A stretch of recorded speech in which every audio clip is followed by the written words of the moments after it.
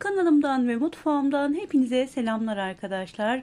Bugün sizlere buram buram kahve kokulu enfes bir kurabiye tarifi vermek istiyorum. Hem görüntüsüyle hem de lezzetiyle gerçekten çok güzel bir kurabiye. Ee, eğer kahve seviyorsanız bu tarifi kesinlikle denemenizi tavsiye ediyorum.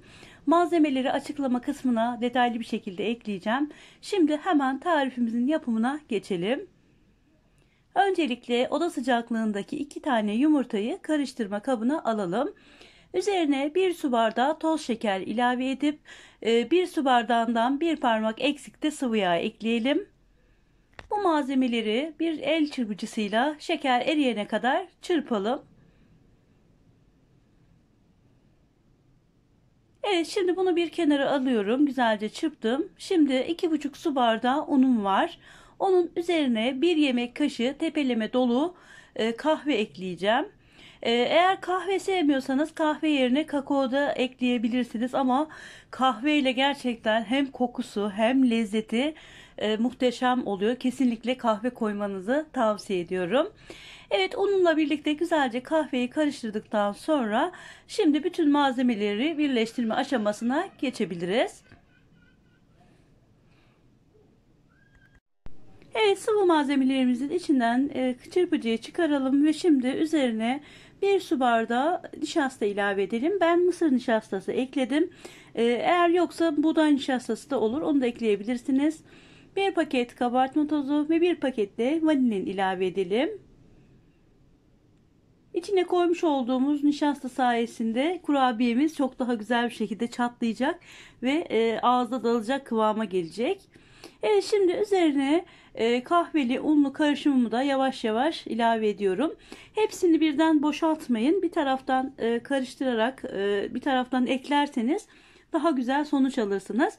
Ben toplamda 2,5 su bardağı un, e, 1 su bardağı nişasta ve 1 yemek kaşığı e, kahve ile güzel bir şekilde hamurumu toparladım. E, kullanmış olduğum e, su bardağı ölçüm 200 milim standart su bardağı. E, malzemeleri daha önce söylediğim gibi detaylı bir şekilde yine açıklama kısmına ekleyeceğim. Mutlaka oraya da göz atın arkadaşlar. Evet unumu yavaş yavaş ilave ederek hamurumu güzelce toparlayacağım. Birazdan sizlere olması gereken kıvamı da göstereceğim zaten. Evet bu şekilde ilk aşamada spatula ile karıştıralım. Hamur zaten ağırlaşmaya başladığı zaman e, elinize yoğurma işlemine geçebilirsiniz. Böyle ilk aşamada elinizi vurmanıza gerek yok ama e, hamur biraz hafif ağırlaştığı zaman kıvamını daha iyi e, anlayabilmek için mutlaka elle yoğurmak gerekiyor. Evet şimdi içinden spatulayı çıkarıyorum ve elimle kıvamını daha iyi ayarlamak için elimle yoğurma işlemine geçiyorum. Evet kıvamı biraz cıvık. Kalan unumu da ilave ettikten sonra hamurumu güzelce toparlayacağım. Daha sonra elimle yuvarlayacağım ve kıvamına bakacağım. Eğer böyle yuvarlanacak kıvamdaysa hamur tamamdır. Çok fazla da un takviyesi yapmayalım. Evet gördüğünüz gibi elinizi yıkayın. E, kuru bir elle bakın hamurunuz güzel bir şekilde toparlanıyorsa tamamdır.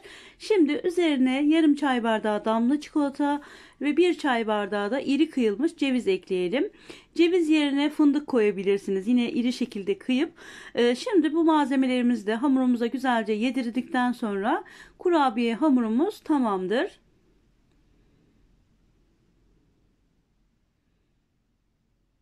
Şimdi şekil verme işlemine geçebiliriz.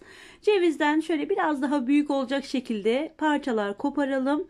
Elimizle hafif yuvarladıktan sonra biraz üzerine bastıralım. Çok fazla değil. Böyle biraz hafif e, yassılması gerekiyor. Daha sonra yağlı kağıt sermiş olduğumuz tepsimize aralıklı bir şekilde koymamız gerekiyor. Kesinlikle sık bir şekilde koymayın. Çünkü üzerine bir e, bastırma işlemi yapacağız. Biraz böyle yayılmasını sağlayacağız. O yüzden kesinlikle çok seyrek bir şekilde koymak gerekiyor. Ben en büyük boy fırın tepsisine koydum. Çok az bir şey hamur kaldı. Onu da farklı küçük bir tepsiye yerleştirdim. Evet bu şekilde e, elimizle yuvarlayıp hafif üzerine bastırıyoruz ve tepsimize e, çok seyrek olacak şekilde kurabiyelerimizi e, yerleştiriyoruz. Fırınımızı da 180 dereceye getirelim. Önceden ısıtılmış 180 derecelik fırında e, ilk aşamada 10 dakika Sonrasında bir 7-8 dakika daha pişirmemiz gerekiyor. İki aşamalı pişirmeden geçeceğiz. Evet kurabiyelerimin hepsini tepsiye yerleştirdim. Şimdi önceden ısıtılmış 180 derecelik fırında e, ilk pişirmede 10 dakika bekletmemiz gerekiyor. E, 10 dakika sonra fırından alacağız ve e, üzerine bir işlem yapacağız. Evet tam süre tuttum. 10 dakika boyunca böyle gördüğünüz gibi hafif üzerleri çatladı ve biraz daha yayıldı. Şimdi bunu biraz daha yaymak için böyle düz tabanlı bir kup veya bardağı üzerine bu şekilde hafif bastırarak yayılmasını e, sağlayacağız. Çok fazla da böyle aşırı sert bir şekilde değil hafif hareketlerle biraz daha böyle yayılıp e, çatlamasını sağlayacağız. Böyle bisküvi görünümünde çok lezzetli, çok güzel oluyor gerçekten. E, fırınınızı da kesinlikle kapatmayın. E, aynı ısıda e, tekrar e, fırına vereceğiz. Yaklaşık 6-7 dakika sonra kurabiyelerimiz tamamen pişmiş olacak. Evet bu işlemi yaptım. Hemen şimdi fırınıma veriyorum ve e, yaklaşık 6-7 dakika fırında bekledi. E, gördüğünüz gibi kurabiyelerim muhteşem oldular. E, şimdi tamamen soğuduktan sonra mutlaka servis edin. Sıcakken e, elinizi vurduğunuz anda dağılabilir. O yüzden tamamen soğumasını bekleyelim. Evet kurabiyelerim tamamen soğudu. Gerçekten buram buram kahve kokuyor. Görüntüsü de lezzeti de muhteşem bir kurabiye oldu. Hemen şöyle iç dokusunu da sizlere göstermek istiyorum. Ee, gerçekten buram buram e, kahve kokulu, e, lezzeti muhteşem bir kurabiye oldu. Kesinlikle denemenizi tavsiye ediyorum. Eğer denerseniz de bu videonun altına mutlaka yorumlarınızı bekliyorum. Bu şekilde deneyecek olan arkadaşlarımıza da fikir olmuş olur. Bana da destek vermiş olursunuz. Evet bugünlük de bu videomuzun sonuna geldik. Umarım videomu keyifle izlemişsinizdir. Bana destek olmak isterseniz eğer videolarımı gördüğünüz zaman beğenmeyi, ufak da olsa bir yorum bırakmayı lütfen unutmayın. Ee, sizin yorumlarınız sayesinde e, daha fazla kişiye ulaşmış olurum ve bana da çok büyük destek olmuş olursunuz. Şimdiden destek veren herkese çok teşekkür ediyorum. Eğer tarifle ilgili e, sorularınız varsa lütfen onları bana yorumlar kısmından yazın. Fırsat buldukça hepsini cevaplamaya çalışıyorum.